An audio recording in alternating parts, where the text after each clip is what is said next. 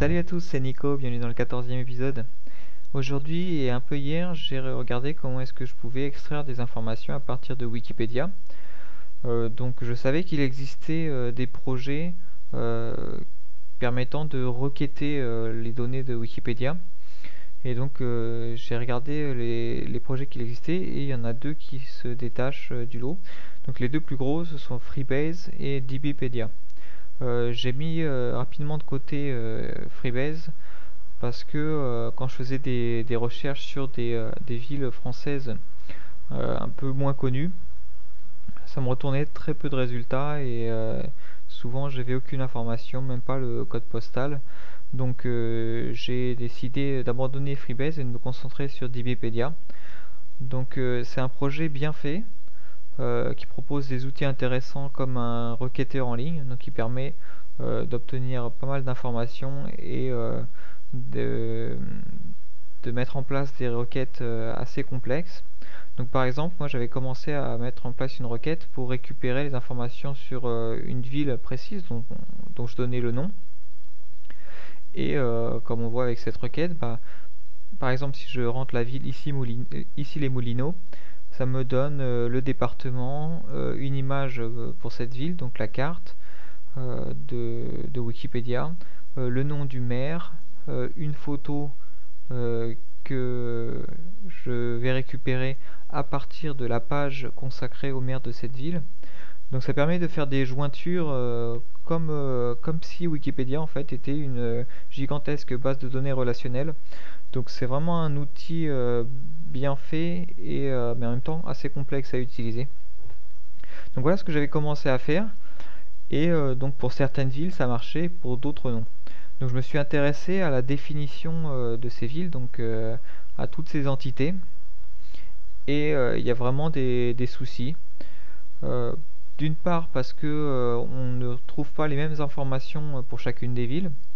Donc euh, les conventions de nommage sont différentes. Par exemple pour euh, la ville Montrouge où j'habite, euh, je vais pouvoir l'appeler directement à partir de son nom Montrouge parce que c'est un nom qui est unique en France. Mais en revanche pour la ville Bagneux où j'ai vécu précédemment, il existe plusieurs villes nommées Bagneux en France. Donc voilà, il y en a 8, 7, pardon. Il y en a 7 et donc si je veux euh, parler de, euh, du Bagneux où j'ai vécu, il va falloir que je rajoute au nom de la ville eh bien, le nom du département. Donc voilà le, genre de choses qui font qu'on ne peut pas envoyer une seule requête euh, à, la, à qui va nous fournir un résultat satisfaisant. Donc je vous parle pas des autres conventions de nommage qui sont assez étranges.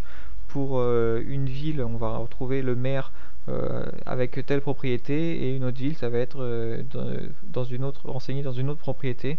Donc euh, le tout forme un assez gros plat de spaghettis et ça devient très très rapidement difficile à utiliser dans, le cas que moi je, voulais qui est de pouvoir extraire des informations à la volée donc on lui donne un nom de ville et il va extraire les informations ou on lui donne un code postal il va extraire des informations par exemple, j'ai essayé moi de renseigner un code postal, et bien ça me retournait toutes les villes du monde euh, qui, euh, qui avaient ce, code postal. Donc euh, par exemple, moi ça me ça me ça m'affichait les résultats d'une ville mexicaine.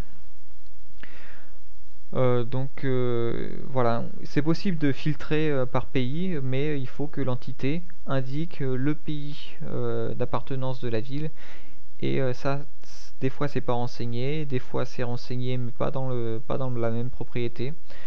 Donc euh, voilà pourquoi est-ce que pourquoi j'ai décidé finalement de laisser tomber cette manière de faire et euh, de récupérer les informations de Wikipédia tout simplement en mettant en place un robot qui va euh, scruter les pages des villes de France et récupérer les informations qui vaut bien et les stocker dans une base de données MySQL.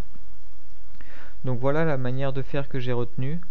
Euh, ça pose euh, donc moins de soucis euh, parce qu'il n'y a pas tout cet aspect de récupération dynamique et de requêtage à distance. Mais l'inconvénient c'est que les informations ne seront pas toutes fraîches puisque elles, viendront de la base de données donc elles, elles dateront du dernier passage de mon robot. Donc voilà les avantages et les inconvénients de la solution que j'ai retenue.